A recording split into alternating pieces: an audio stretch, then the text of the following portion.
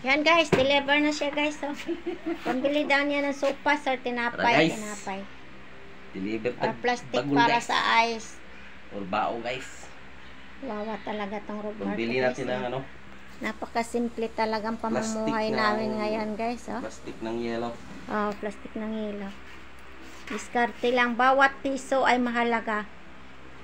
Sa buhay ngayon, guys. Sa sobrang mahal ang pilihin. Tapos, guys, wala kaming trabaho. O, di ba? Yan, guys. Ang bigat. O, tingnan nyo, guys. O. O, tingnan nyo. Ang buhay niya, o. Ayaw na maniwala. O, ganyan, guys. I-deliver niya, guys. Ewan ko lang kung abot ba isang daan ang mabenta niyan, guys. Tapos pag uwi niyan, guys, bibili yan ang starik na plastic para sa yelo.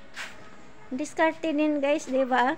Uh, masaya naman siya, guys. So, ingat bangga, ha? Ingat. At sa pag-deliver ng isang sakong bao. Ah! Ngat! Ito nga, iingat eh. Yan guys, oh, deliver na siya. Yan. Nabigat! Nabigat yun guys.